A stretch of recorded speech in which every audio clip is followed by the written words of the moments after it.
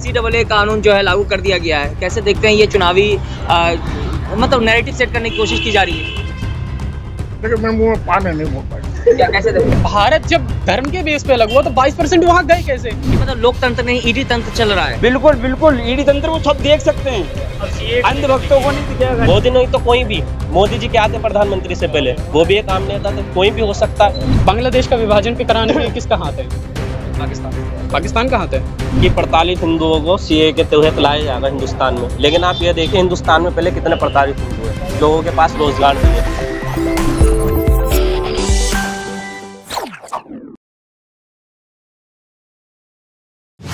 शामिल कोई नहीं होता। क्या अगर ऐसा कहे जाएगा कि मतलब मैं अभी मतलब मान लीजिए दंगा इरप्ट हो जाता है तो वहाँ पर वही आता है सामने जिसको एक डर लगता है कि मेरे साथ कुछ ना हो जाए। तो या तो वो डिफेंसिव मूड में रहता है या अटैक मूड में रहता है। तो यहाँ वो नहीं है कि मतलब कोई कास्ट बेस पे आता है कि मैं मारूँगा, भाई मेरे लिए दिक्कत है। यहाँ हर कोई खड़ा हो जाता है और हर कोई बचने की कोशिश करता है, जिसे लगता है कि मेरे लिए यहाँ पर नुकसान है। यहाँ कोई ऐसा तो कोई पार्टिकुलर कास्ट या रिलीजन का बंदा तो नहीं होता कि मैं जाके खड़ा हूँ क्योंकि ये भाई दंगा हो गया ये तो मेरे लिए फ़ायदा या मेरे लिए नुकसान है। नहीं यहाँ वही खड़ा होगा जिसे लग रहा है डर कि भाई मेरे साथ कुछ गलत होगा या फिर वही अटैक करेगा जो जिसको डर है कि मेरे साथ गलत ना हो जाए। अभी चुनाव सामने है सी डबल ए कानून जो है लागू कर दिया गया है। कैसे देखते हैं ये चुनावी आ, मतलब नैरेटिव सेट करने की कोशिश की जा रही है? लेकिन मैं मुँह में पानी नहीं बोल पाई। क्या कैसे देखते हैं? आप सीए कानून को लेके आए। अब इनके पास कोई मुद्दा नहीं बचा। अगर इनके पास कोई मुद्दा नहीं बचा, वो कब लेके आए थे? ये चार पाँच साल पहले वो सीए एनआरसी वाला मुद्दा आया। उसको जब से लेके नहीं आए, जब से लेके नहीं आए, अब इनके पास कोई मुद्दा नहीं बचा जीतने के लिए। तो ये सीए क्यों लेके आ गए? सामने लेके आ गए, जिससे कि मुसलमान इसके अपोजिट दिखे। पर इस बार मुसलमानों ने कंट्रोल किया। मतलब देखा कि सीए है क्या? उन्होंने देखा बिल्कुल एकदम वो उग्रवादियों की तरह, जैसे प्रोटेस्ट वगैरह नहीं करा। जैसे पिछली बार भी जो प्रोटेस्ट किया था, वो भी जेनविन प्रोटेस्ट किया था, एनआरसी को लेके। वो देखा है। पर इस बार सीए को लेके आए। वो सोच रहे थे कि मुसलमान इस पे भी बिना पढ़े, बिना लिखे, बिना जाने इसके बारे में इस पर प्रतिक्रिया करेंगे। और उनको हिंदू मुसलमानी कराने का मुद्दा मिल जाएगा, जैसे कि उन्होंने पिछली बार भी किया।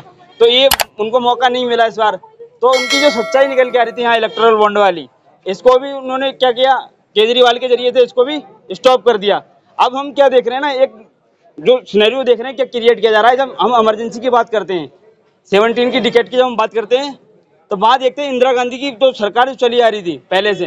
तो उनको कुछ मौका नहीं मिला था इंदिरा गांधी के जो अलायंस उस टाइम क्रिएट हो रहा था विपक्ष के खिलाफ। विपक्ष जो एक अलायंस बना रहा था। तो इंदिरा गांधी ने क्या किया? इंदिरा गांधी ने सबको उठा के बंद, जेल में बंद करना स्टार्ट कर दिया उस टाइम ऐसा ही यहाँ पे सेम टू सेम वही सिनेरियो अभी यहाँ क्रिएट हो रहा है। ये क्या कर रहे हैं? ईडी और जो भी इनके खिलाफ बोलता है ईडी ईडी ईडी बस इनको क्या चमक रहा है? कि ईडी चमक रही है।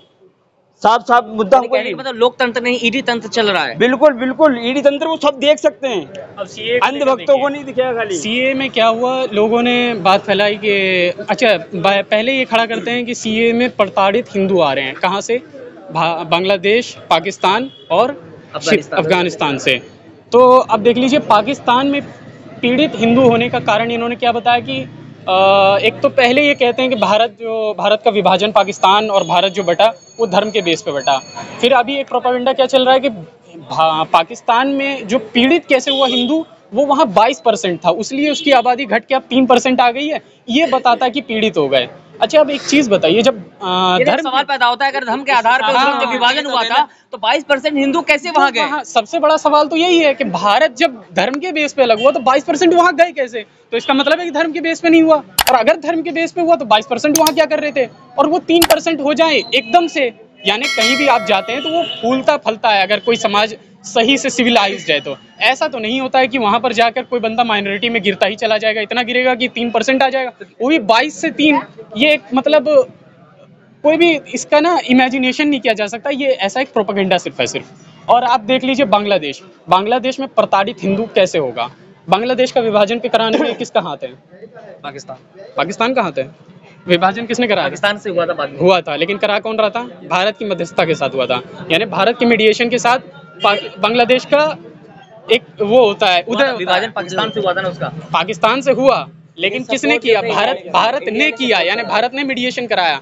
अब भारत ने मीडिएशन करा के बांग्लादेश को आज़ाद कराया या बांग्लादेश अब नया देश बना?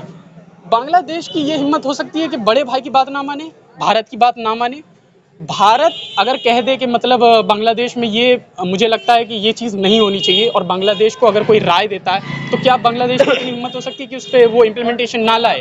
तो अब ये देखिए कि बांग्लादेश में हिंदू पीड़ित हो जाएगा और भारत, जबकि हिंदू मतलब मानिए यहाँ मेजोरिटी में है, भारत अगर कह दे कि भाई वहाँ मेरे मतलब मेरे भाइयों के साथ ये हो रहा है तो वो कैसे हो जाएगा? ये एक इमेजिनेशन से, ये भी आउट ऑफ़ इमेजिनेशन वाली बातें हैं कि बांग्लादेश में पीड़ित हो रहा है हिंदू। ऐसी कोई घटनाएँ नहीं होती है कि मतलब भारत अभी सर आपने बोला कि प्रताड़ित हिंदुओं को सीए के तहत लाया जाएगा हिंदुस्तान में। लेकिन आप ये देखिए हिंदुस्तान में पहले कितने प्रताड़ित हिंदू हैं। लोगों के पास रोज़गार नहीं है रहने के लिए घर नहीं है अच्छी सड़कें नहीं है गाँवों में बिजली नहीं कितने लोग हैं जो अभी भी हिंदुस्तान के हिंदू प्रताड़ित है।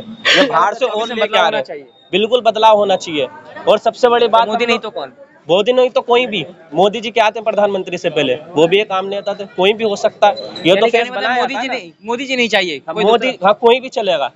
बात ये देखा कि यहाँ पे जो जनता जो है अपनी अपनी राय रख रहे थे आप क्या चाहते हैं कि क्या फिर से मोदी जी आए या फिर विपक्षी यानी विपक्ष का जो गठबंधन है इंडिया गठबंधन उसमें से कोई प्रधानमंत्री का चेहरा आना चाहिए?